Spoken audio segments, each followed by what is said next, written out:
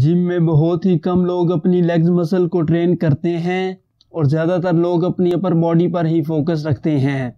और जो लोग लेग्स की मसल की एक्सरसाइजेज करते भी हैं, उन्हें भी ये पता नहीं होता कि लेग्स मसल के कितने पार्ट्स हैं और किस मसल पार्ट की कौन कौन सी एक्सरसाइजेज हैं। और किस मसल को ट्रेन करने का क्या फ़ायदा है, जिससे वो भी कुछ अरसे के बाद रिजल्ट्स ना मिलने की वजह से लेग मसल को ट्रेन करना बंद कर देते हैं। ज़्यादातर लोग सोचते हैं कि हमें लेग्स मसल को ट्रेन करने का कोई फ़ायदा नहीं, क्योंकि हमें ना तो कोई बॉडी बिल्डिंग मुकाबले में हिस्सा लेना है और ना ही हमें लेग्स मसल को पब्लिकली शो करना है। लेकिन हम आपको बता दें कि अगर आप एक अच्छी और बैलेंस्ड बॉडी बनाना चाहते हैं तो आपको अपनी अपर बॉडी के साथ लेग्स को भी ट्रेन करना होगा। और वैसे भी लेग्स हमारी बॉडी का 50 परसेंट हिस्सा है। और अगर हम इनको ट्रेन नहीं करेंगे तो हमारी आधी बॉडी कमज़ोर और पीछे रह जाएगी।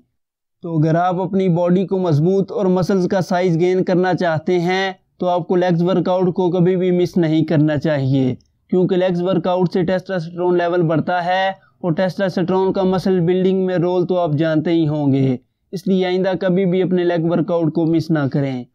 ये तो थे लेग्स वर्कआउट के फ़ायद। अब हम बात करेंगे कि आपके लेग्स के कितने मसल्स हैं और किस मसल को कैसे ट्रेन करते हैं और किस मसल को ट्रेन करने का क्या क्या फ़ायदा है। तो अगर आप बॉडी बिल्डिंग या फिटनेस लाइफस्टाइल से रिलेटेड मज़ीद वीडियोस देखना चाहते हैं तो हमारे चैनल को सब्सक्राइब करके बेल आइकॉन को क्लिक ज़रूर करें। नंबर वन क्वाड्राइसेप्स ये आपकी लेग्स का सामने वाला हिस्सा होता है। ज़्यादातर लोग जब लेग्स ट्रेन करते हैं तो इसी हिस्से की एक्सरसाइजेज लगा रहे होते हैं। लेकिन उसके बावजूद इसका ज़्यादा साइज़ गेन नहीं कर पाते, क्योंकि कोड्राइसेप मसल के बारे में वो ज़्यादा नहीं जानते। और कोड्राइसेप को एक ही मसल मानते हैं। लेकिन कोड्राइसेप पार्ट के भी तीन मसल होते हैं। और वन वेस्टिस लेट्रियलिस ये आपके क्वाड्राइसेप का आउटर यानी कि बाहर वाला पार्ट होता है। नंबर टू वेस्टिस मीडियालिस ये आपके क्वाड्राइसेप का इनर यानी कि अंदर वाला हिस्सा होता है। नंबर थ्री रेक्टस फेमोरिस ये आपके क्वाड्राइसेप का दरमियान वाला और बिल्कुल सामने वाला पार्ट होता है। इसके अंदर एक और मसल वेस्टस इंटरमीडियालिस भी होता है, लेकिन वो विजिबल नहीं होता। अब तो आप क्वाड्राइसेप मसल्स के बारे में जान चुके हैं। ये अब हम आपको बताते हैं कि आप अपने कमज़ोर और मनपसंद क्वाड्राइसेप पार्ट को कैसे ट्रेन कर सकते हैं। वैसे तो आप जब भी क्वाड्राइसेप की कोई भी एक्सरसाइज लगाते हैं तो आपके सभी पार्ट्स पर लोड पड़ता है। लेकिन अगर आप क्वाड्राइसेप एक्सरसाइज में दोनों पैरों को बाहर की तरफ़ रखते हुए और टांगों में थोड़ा ज़्यादा फासला रखते हुए क्वाड्राइसेप की एक्सरसाइज करते हैं, के अंदर वाले हिस्से पर ज़्यादा लोड पड़ेगा। और अगर आप लेग्स में थोड़ा कम फासला रखते हुए और पैरों को थोड़ा अंदर की तरफ़ रखते हुए एक्सरसाइज लगाएँगे तो आपके वेस्ट यानी कि क्वाड्राइसेप के बाहर वाले हिस्से पर ज़्यादा लोड पड़ेगा।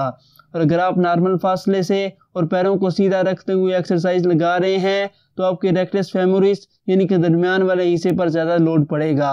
तो इस तरह आप अपने कमज़ोर पार्ट को मज़बूत बना सकते हैं। लेकिन एक बात का ध्यान रखें कि पैरों को ज़्यादा बिना मोड़े, क्योंकि हैवी वेट से ट्रेनिंग करते हुए आपको इंजरी हो सकती है। नंबर टू हैम स्ट्रिंग ये आपकी लेग्स का पीछे वाला हिस्सा होता है। ये भी आपकी लेग्स का एक बड़ा मसल है। अगर आप अपने लेग्स का साइज़ गेन करना चाहते हैं तो हैम स्ट्रिंग एक्सरसाइजेज को कभी भी मिस ना करें। हैम स्ट्रिंग के भी क्वाड्राइसेप की तरह तीन पार्ट्स होते हैं। नंबर वन बाइसेप फेमोरिस ये आपकी हैम स्ट्रिंग का मेन और सबसे बड़ा मसल होता है नंबर टू सेमी टेंडोनोसिस यह आपकी हैम स्ट्रिंग का दरमियान वाला ऊपरी हिस्सा होता है नंबर थ्री सेमी मेम्ब्रोनोसिस ये आपकी हैम स्ट्रिंग का सबसे छोटा हिस्सा होता है, जो कि सेमी टेंडोनिसिस के बिल्कुल नीचे पाया जाता है. तो ये थे आपके हैम स्ट्रिंग के तीन मसल्स आइए अब जानते हैं कि हैम स्ट्रिंग के मसल्स को कैसे ट्रेन करते हैं, ताकि आप एक मुकम्मल हैम स्ट्रिंग हासिल कर पाएँ। क्वाड्राइसेप की तरह आप जब भी हैम स्ट्रिंग की कोई भी एक्सरसाइज करते हैं तो आपकी मुकम्मल हैम स्ट्रिंग ही ट्रेन होती है। लेकिन आप मुख्तलिफ़ तकनीक से और जावियों से हैम स्ट्रिंग के किसी ख़ास मसल पर ज़्यादा लोड डालकर उसे गेन कर सकते हैं।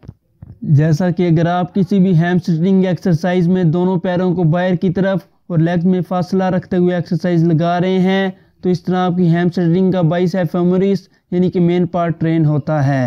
और अगर आप किसी हैमस्ट्रिंग एक्सरसाइज में कम फासला रखते हुए अपने पैरों को अंदर की तरफ़ रखते हुए एक्सरसाइज कर रहे हैं तो इससे आपकी हैमस्ट्रिंग के सेमी टेंडोनोसिस और सेमी मेम्ब्रोनोसिस दोनों पार्ट्स ट्रेन होते हैं। नंबर थ्री काल्व्स ये आपकी लेग्स के नीचे वाले मसल्स होते हैं और ज़्यादातर लोग लेग्स ट्रेन करते हों या ना करते हों, इस मसल की एक्सरसाइज ज़रूर करते हैं। लेकिन फिर भी आप देखते हैं कि इस मसल का साइज़ ज़्यादा गेन नहीं हो पाता और वो एक मुकम्मल शेप में नहीं आ पाते। तो हम आपको बता दें कि आप जब भी चलते, फिरते, दौड़ते या अगर खड़े भी रहते हैं तो इस पार्ट पर लोड पड़ता रहता है। तो इसलिए इस पार्ट को गेन करने के लिए आपको ज़्यादा इंटेंसिटी और हैवी वेट का इस्तेमाल करना होगा। काल्व्स के भी दो मसल्स होते हैं। नंबर वन गैस्ट्रोकनीमियस ये आपके काल्व्स का गोलीनुमा हिस्सा होता है। मजीद दो हिस्से होते हैं। Number one lateral head gastrocnemius ये गैस्ट्रोकनोमियस का बाहर वाला हिस्सा होता है। Number two medial head gastrocnemius ये गैस्ट्रोकनोमियस मसल का अंदर वाला हिस्सा होता है। Number two, soleus. ये आपके गैस्ट्रोकनोमियस के अंदर होता है और ये बहुत ही कम विजिबल होता है। तो अगर आप अपने कार्ड्स का साइज़ गेन करना चाहते हैं तो इन दोनों पार्ट्स को इलादा इलादा ट्रेन करना होगा। अगर गैस्ट्रोकनोमियस मसल की बात करें तो इसके लिए आपको कार्ब्स की किसी भी एक्सरसाइज में हैवी वेट लेना होगा और हैवी वेट से छः से आठ स्टेप्स निकालने होंगे। और अगर आप लेटरल हेड पर ज़्यादा लोड डालना चाहते हैं तो आपको अपने पैर अंदर की तरफ़ रखने होंगे। और अगर आप मीडियल हेड पर ज़्यादा लोड डालना चाहते हैं तो आपको अपने पैर बाहर की तरफ़ रखना होंगे। और अगर आप सोलियस मसल को ट्रेन करना चाहते हैं तो इसके लिए आपको कार्ब्स की एक्सरसाइज में मीडियम वेट या लो वेट के साथ 15 से 20 रैप्स निकालने होंगे।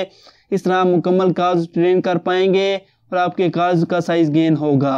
तो अगर आप बॉडी बिल्डिंग या फिटनेस लाइफस्टाइल से रिलेटेड मजीद वीडियोस देखना चाहते हैं तो हमारे चैनल को सब्सक्राइब कर लें। और अगर वीडियो पसंद आई हो तो वीडियो को लाइक कर लें।